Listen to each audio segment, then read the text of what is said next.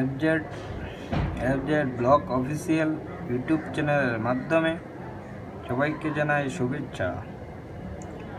আজ আঠাইশে আগস্ট, রোজ শুক্রবার। আজকের ত্রিপুরার বিশেষ বিশেষ খবর।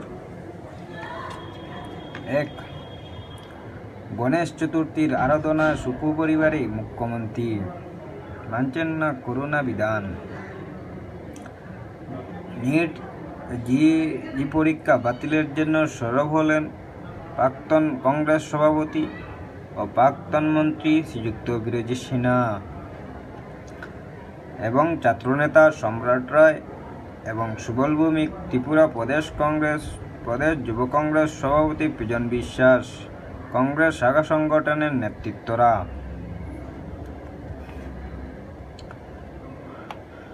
কৈলাসহর, সিনাদপুর গ্রামে প্রকাশ্য বিজেপি দলের অফিসে চুরি করে অবৈধভাবে বিদ্যুৎ ব্যবহার করা হচ্ছে প্রশাসন নীরব।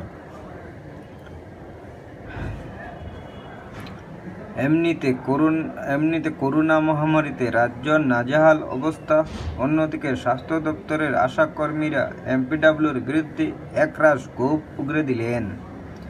তেল তেলিয়ামুড়া আশাকর্মীদের দাবি মর্জিমাফিক কাজ, শিশুদের টিকা, সঠিক সময়ে টিকা প্রদান হচ্ছে না। শিশুদের নিয়ে আসলে মর্জিমাফিক বিলম্ব করা হচ্ছে। এমডিডাব্লিউ এমডিডাব্লিউ এই বিলম্ব করছেন।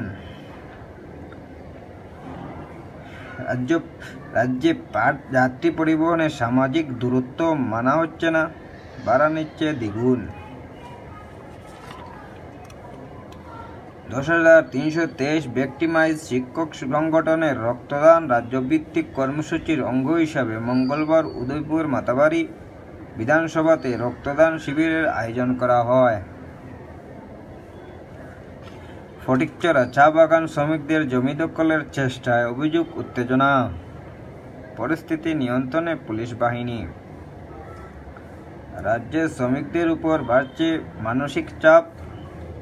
ভারতে দারিদ্র্যের সুনামি আঘাত আনবে। দরিদ্র রেখার নিচে চলে যাবে দশ কোটি মানুষ।